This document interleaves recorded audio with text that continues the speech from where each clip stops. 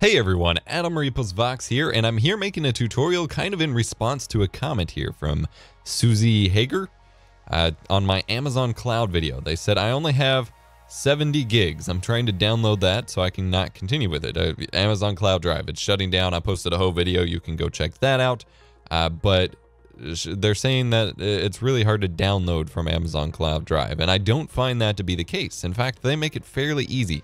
So I'm going to make a tutorial here and show you how. First and foremost, you do need the Amazon Drive desktop client, which you can get from the Amazon Cloud Drive website if you have an account.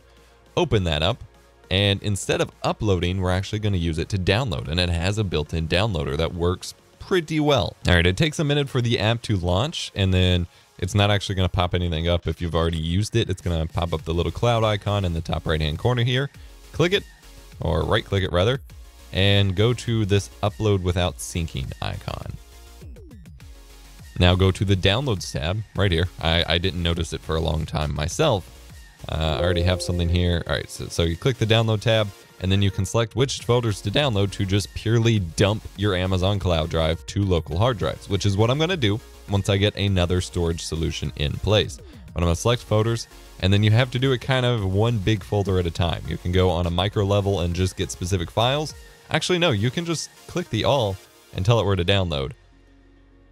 I don't have 40 terabytes to dump all this to, so I'm not going to do that right now. But I can choose like the, uh, what's a good one I can use?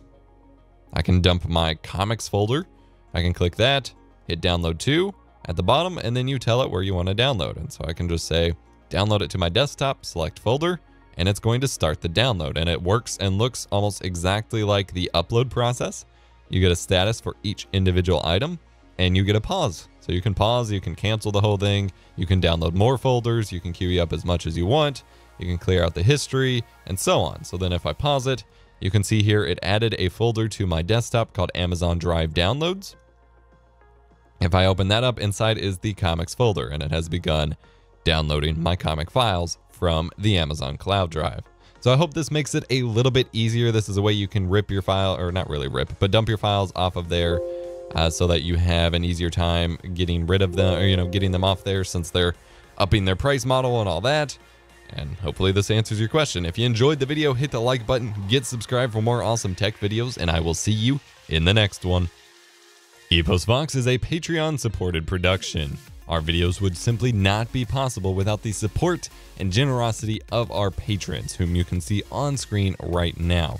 If you'd like to join the inner circle and get early access to videos among other things, go to patreon.com slash eposvox to learn more.